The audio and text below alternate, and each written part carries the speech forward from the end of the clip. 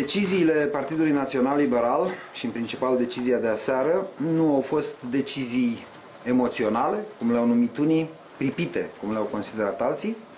Au fost decizii uh, luate în deplină cunoștință de cauză, luate de oameni responsabili, luate nu de un om, președintele, sau doi, sau trei, sau cinci, sau 15, un cerc, ci luate de oameni care au responsabilități la nivel parlamentar, de toți parlamentarii partidului, de toți președinții organizațiilor județene ale partidului, de cei mai importanți dintre aleșii locali ai Partidului Național Liberal, președinți de Consiliu Județean, primari ai unor mari orașe. Este o decizie, cum am spus și aseară, a fost o decizie grea, dar o decizie luată în mod categoric, în mod copleșitor de Partidul Național Liberal, și o decizie irreversibilă a Partidului Național Liberal.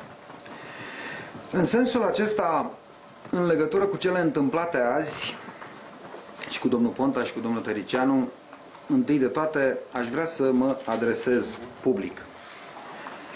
Domnului Ponta, pentru că din punctul de vedere al interesului public, domnul Ponta contează. Domnul Ponta există. Și îi cer public primului ministru să ia act de decizia irreversibilă a Partidului Național Liberal să procedeze cu decență în raport cu aceasta, să abandoneze orice speranță că Partidul Național Liberal se aseamănă cu alte grupuri politice constituite exclusiv în jurul puterii și în jurul pozițiilor guvernamentale și să acționeze în continuare în baza deciziilor pe care domnia sa, ca lider al celui mai mare partid parlamentar din România în acest moment, le are de luat. Nu servește nimănui.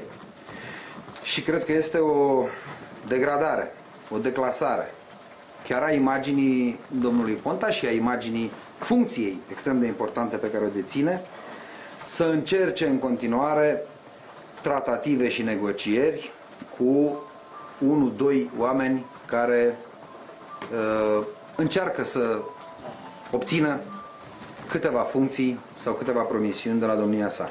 Este nedemn și mai ales este ineficient. E normal ca domnul Ponta să discute cu președintele UDMR, e normal să discute cu grupul minorităților, e normal să discute cu liderii oricărui alt partid pentru constituirea unei noi majorități, am înțeles că domnia sa nu dă curs solicitării noastre de demisie. Repet, e normal să facă, dacă a făcut această opțiune, aceste demersuri, dar e degradant să încerce prin spatele unui partid și cu personaje care evident n-au nicio susținere și nicio credibilitate să poarte negocieri nedemne de poziția de prim-ministru.